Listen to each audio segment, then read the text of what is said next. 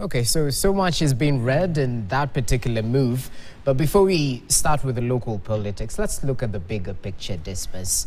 Raila's candidature as the AUC chair. What boxes does Raila tick that makes the Kenyan government so enthusiastic in making sure he's successful. As a matter of fact, the Speaker of the National Assembly, Moses Wetangula, said they will fund his bid to the AUC chair position. Your take?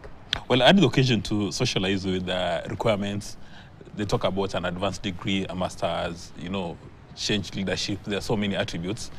But I guess for Mr. Raila Odinga is that uh, he's a statesman and he's got a very solid uh, brand recognition uh, across Africa. Mm -hmm. In fact, when he travels from uh, one city to another, the people he's uh, meeting, I would easily venture that he probably has a first name relationship with uh, about 25% of uh, his voters for this particular mm -hmm. case for the AUC role. Yeah. I mean, he's said to be close to the DRC president He's said to be close to the South Africa president. He's said to be close to majority of the presidents in Africa. And I guess the fact that uh, Nairobi is uh, sponsoring and supporting his candidature, then uh, he must be close to, to President Ruto. But uh, one of the biggest challenges I've uh, noticed is that uh, the way the local political players, as well as the media, are treating his uh, candidature. Some of your colleagues have been uh, a major letdown for Kenya. Instead of asking ourselves that um, if Raila Odinga takes up this role, what does it mean for Kenya? What does it mean for East Africa? Mm -hmm. What does it mean for Africa? And what does it mean for the world? They're focusing on uh, so-called ODM orphans. They're saying who is going to fill the vacuum in uh, Luo Nyanza.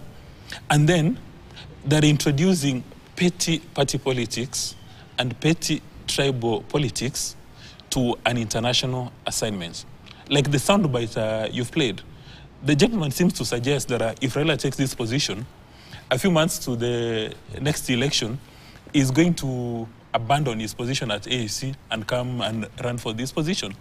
Some ODM fellas were asking, how come UDA did a news conference to support his uh, candidature? And right now we are talking about a very serious international assignment. Okay.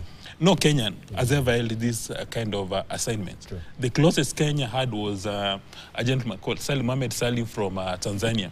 So instead of us uh, rallying together as a nation and supporting uh, Mr. Odinga's candidature, everybody is looking at his insurable interest. People are likely to get a beating in 2027 are the ones who are saying, no, Raila Odinga is going to, to come back. Mm -hmm, mm -hmm. So in my view, what uh, Mr. Raila Odinga needs to do as a matter of urgency is, uh, with the leadership of President Ruto, develop a winning strategy and identify, you know, when you're doing systems analysis and design, you look at the key success factors, then you do a critical path analysis.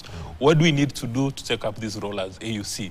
They get the key success factors, and all Kenyans work towards that goal. So if you've been uh, winning an election simply because uh, you are loyal to Raila Odinga, right. just accept reality that you are going to lose that position. Let's support Raila Odinga to secure this role. In any event, one of the things that Kenya Kwanza indicated is they're going to create opportunities for Kenyans at the international level, and it seems that Mr. Raila Odinga will be the biggest beneficiary okay, okay. of that economic and, diplomacy. And just to clarify, when we were fronting the candidature of the former cabinet secretary, uh, is it Amina, Amina Mohamed, is it to the same position where she wasn't successful against, it was against Musa Faki, yeah, I think. Yeah. So once beaten, twice shy. However, uh -huh. that is why I've indicated we need to sit down and say, what is the, we do the critical path analysis, okay. identify the key success factors, and address them to the hilt. Okay. You, you, see now, when you get uh, uh, uh, the ODM uh, party folks in Kenya saying he may abandon his position, our competition may use these clips for their campaigns, mm -hmm. saying, look at what the loyal ODM members are saying, okay. that the party leader is using this one as a stepping stone for the presidency of Kenya. Okay. And uh, it would appear to me that majority of Kenyans don't even understand uh, how the African Union works. Uh, and yet all of them have got smartphones. So you know, as you come in, uh, and I'd like to put this question